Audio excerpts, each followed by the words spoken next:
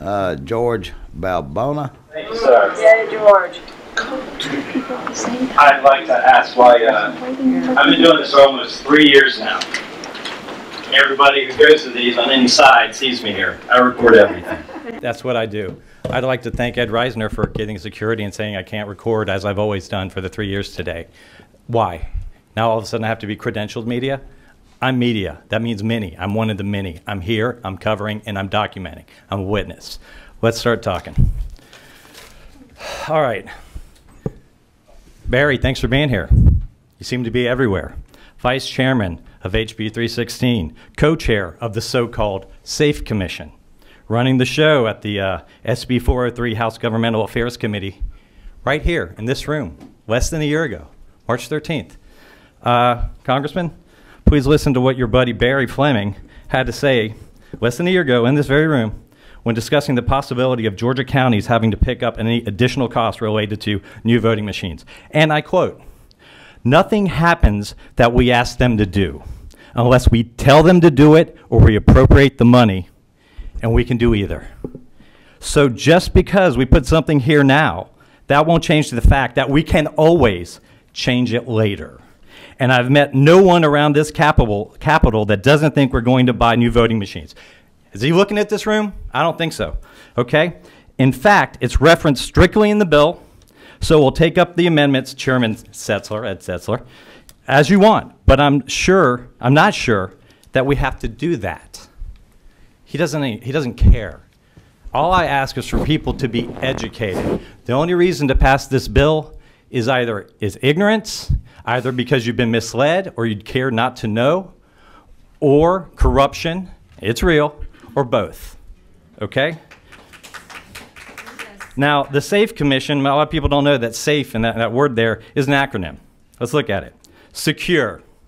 No, it ignores all cyber experts, even the National Enquirer when it has something priceless, puts it on paper and locks it in a safe. So do all Fortune 500 companies. Okay? Secure, uh, that's the first one. Accessible, yes, extremely accessible to bad actors and, and hackers. Okay? Fair, certainly not. Elections, no. And this is where it gets really scary. HB 13 provides us with unconstitutional appointments, masquerading as the will of the people and fair elections. Okay? There's not a person here today who can read a barcode. Why do we have to put that extra level, that superfluous level, step into our votes? Okay? You think, oh, barcode, I go to the store, it tells me how much something costs. No, it's never told you anything. It tells a machine what it costs. And it could tell you to change that D to an R like that and you cannot do any kind of, uh, you know, you can't validate. It's not verifiable. You hear us talking about what the difference is between the first and the second half of that, that handout you got. You have a paper trail that the actual process of doing the, the vote is your verification. You go through, and as you do it, you're marking and you're verifying it right there in front of your eyes. You scan it optically, just like you guys do uh, with the other ones, and you put it in a lockbox. How is that, how is that different? It's, it's fundamentally different because you are introducing something where shenanigans are possible and undetectable. Okay? Holly Springs, you look like you're glazing over. Why don't you tell me what you handed to Brad, our new SOS, at the vendor depot after saying Merry Christmas? He grabbed it, put it in his pocket. I have video of it. What was it? Oh, your little thing?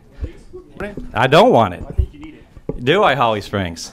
What's it say? Does it say something about uh, fair and accurate and verifiable votes? Let me see it. Be bold. I do agree with that. But you guys are boldly cramming this bill down our throat at a fast rate, and I don't like it. I hate the taste. And you very much like I have a very, very uh, your your average is, is incredible. Statistically impossible that you always land on the wrong side of history. How is that possible? Just take the time, listen to the experts, and do the damn right things. You're not doing it.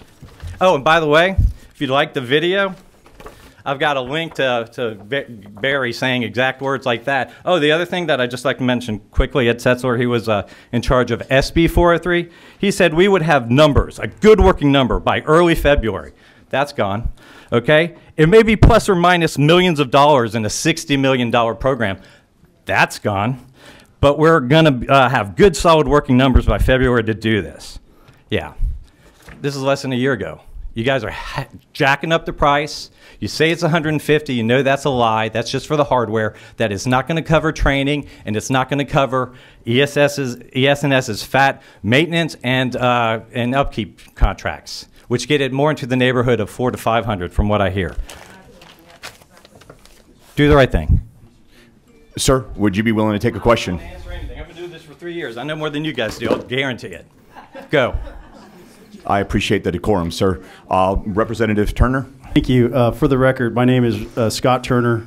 It's not Holly Springs.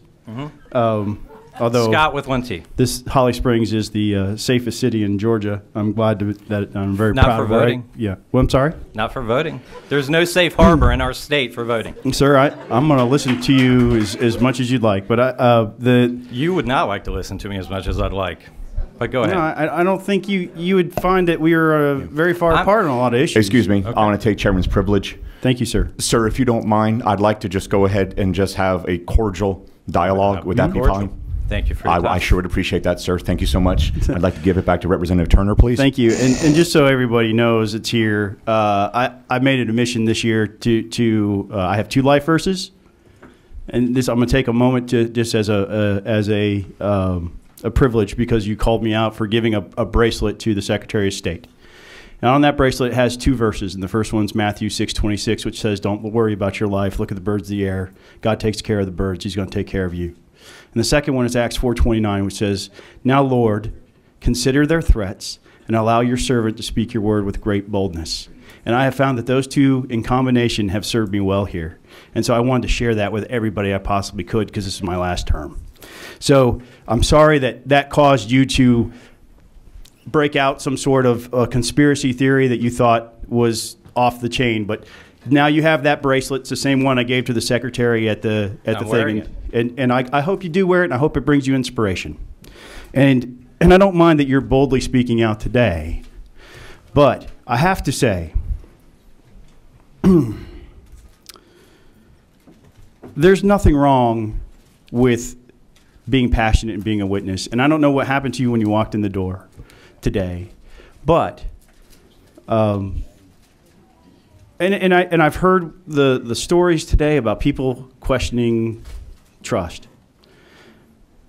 I want to just, if I could, you know, this this I, was talking to my my freshman friend here today, and I said two years ago I packed this snowball at the top of a hill, and this is the result of that snowball that rolled down the hill. This is a process. We're going to hear everybody out, including you. And, and I'll just tell you that if you are coming at me angry, I don't want, I, my natural inclination is to say, no, I'm not going to listen to you. But I think you're making great points in there somewhere, but they have to be pulled out. So be a witness. Be the, be the recorder guy. If you, I'm, I'm sorry that it had to be today that you had to ask me about what I gave to the secretary that day. I am, my cell phone number is published everywhere, and the people on this committee make themselves available to anybody that wants to be available, wants to talk. I've sent emails to every individual mem- member of uh, Well, you know what? My cell phone number, senator. my cell phone number is published, and I, you didn't call me because I would have called you back, or I would have answered on the first ring. So th- let's just let's That's just be courteous to each other. And, and there's no look. Here's the bottom line. Okay. There are going to be things in here that are going to be extraordinarily important to reestablishing trust. And I promise you, there are, there are people on this committee that are fighting for that. And whether they have a D or an R next to their name, they're going to fight for that. And, and that's the only thing I have to say. I just wanted to respond to that since, since you said I was glazed over. I was actually hanging on every word you're saying. Okay. Um, but, but you were so confrontational. It's called passionate. I've been doing this for a while. Well, you know, I let- let understand me- that. Let me tell you the difference between today, and I greatly appreciate the difference, is the chairman is letting us speak for as long as we'd like. Usually we have two minutes, and it's like you're screaming into the void. It's just this fascist, fascist, like you guys are looking at your cell phones. We, it's not a dialogue. That's what we need. We need a dialogue. Well- and we're having it now. But this, it. again, exception, not the rule. I, if you guys want to make it, you know, let's have, let's get all these people who signed up. Let's get a room and let's hash it out. Let's talk, because this is this is just us speaking our minds and you guys taking it, and, and we don't know what you think of it. Bring it.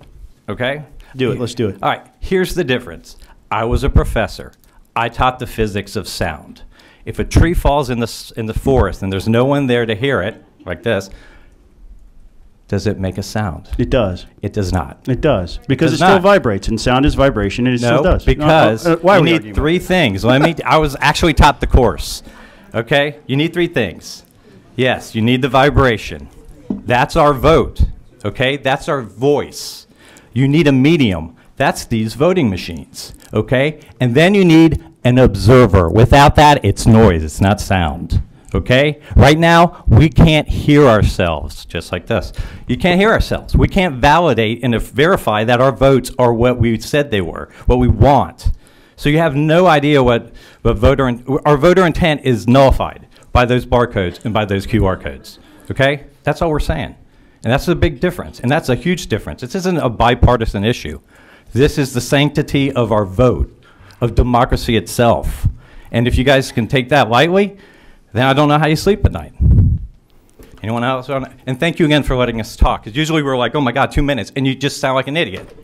Well, I'm I can do that at any rate. I'm almost sorry that I had to excuse myself, but you know. I- Hey, I'm nature calls. that We all had a lady over here that was concerned that I was sneaking out, but I could actually Yeah. sneak into the men's room. Uh, have you? Bob, you have a question? Do you have a question? No. Okay. That's it. Thanks, guys.